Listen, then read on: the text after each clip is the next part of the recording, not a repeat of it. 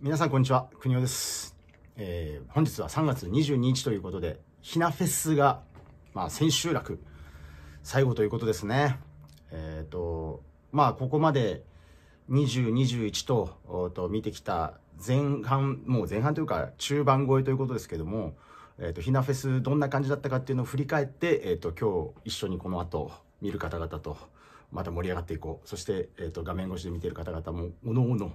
えっと、どういうふうに体感していこうなんていうことをお話ししたいと思って、えーお届けしております。お付き合いください。まあ、特にですよ、あの、スペシャルなサプライズ的な意外性なんていうのはそれほど感じない、えっ、と、モーニングプレミアと美容プレミアだったのかなと思っております。で、まあ、なんていうんですかね、本人たちも無観客というところで、えっ、と、パフォーマンス、これ少し一人ずつ差が出てるのが面白かったですね。まあ、誰かというのをいちいち言ってたらちょっと時間かかりすぎなので、えっとその辺というのは、まあ、録画とかでも見れると思いますので、えっとあ観客いる時のこの煽りあったおかげでそのリバウンドによってもっと乗ってくるタイプのメンバーって誰だったのかとかあと、まあ、今回のこういう環境の中でも微動だにせず、えっとしっかり自分のパフォーマンスともすればむしろ冷静っていうところが目立つメンバーなんていうのも何人か確認したような気がしております。まあ、その辺は、えー、とひなフェス今日のが終わった段階ぐらいでまた近々ですね、えー、と勝手にあの思う特徴的な3人ずつぐらい、えー、と上げてみたいと思ってますのでそちらも楽しみにしてください。で、えー、と今のひなフェスの内容に戻しましょう。特に昨日のビオプレミアムですよね、えー、と本人たちがどういった風な形で、えー、とまあ今ビオも本当はねツアーをしっかりやっているなんていうタイミングだったはずなんですけれどもまあアピール度も含めてですがあ全然ピカイチな美容のキャリアの中振り返ってみても十分トップクラスに入れられるようなステージだったと思っております。特にこのねあのまた改めて語りますけど平井美桜ちゃんねちゃんと緊張してるのが初々しくていいですね。彼女まあ技術的いろんなもの含めてですけども多分昨日がベストアクトだったと思いますね。ソロでやる中で言うと。でも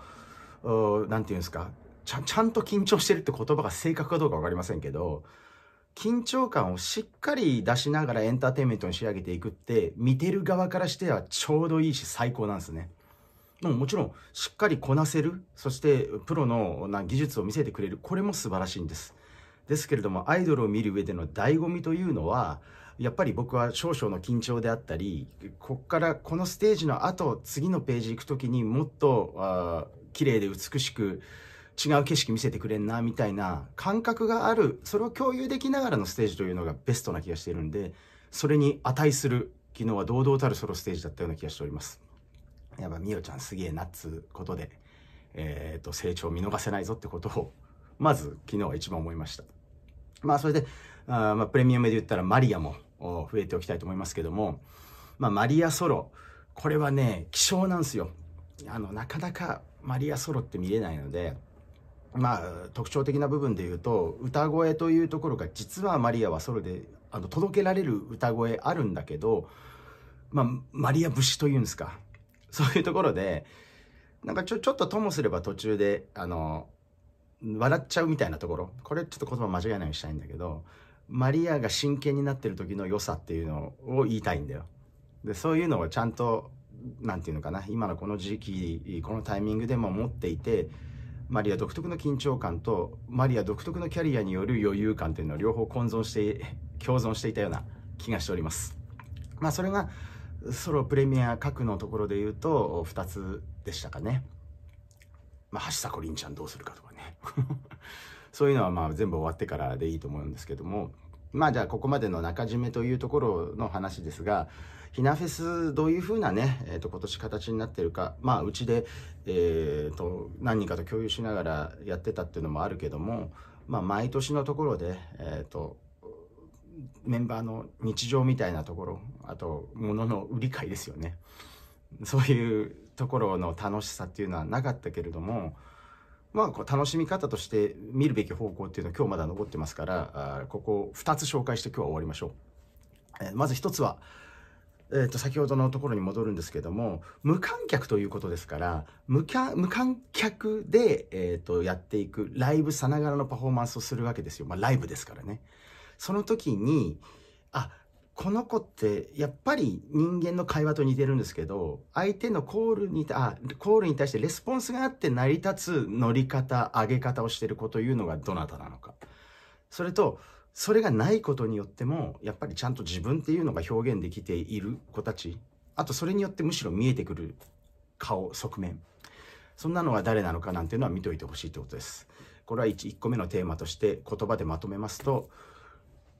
一人でやっていけるには一人で生きられそうってみたいに言いそうになりましたけど 一人でやっていくにはどういうようなスキルを持ってるのかというのが見れるところこれが一つです。で二つ目。えー、と2つ目はこれはとても重要ではあるけれどもちょっと僕の主観も入る話になります。やっぱりカメラワークというところですよね。カメラワークを気にしてやってたかやってないかというところがこれ見どころだと思います、